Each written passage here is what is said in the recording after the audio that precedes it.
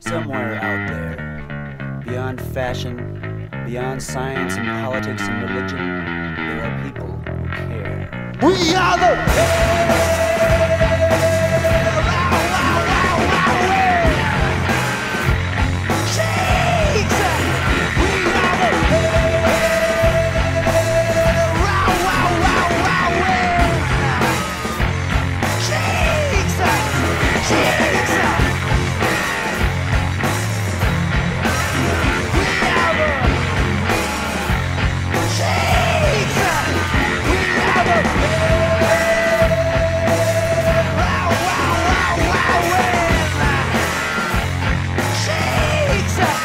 Shit!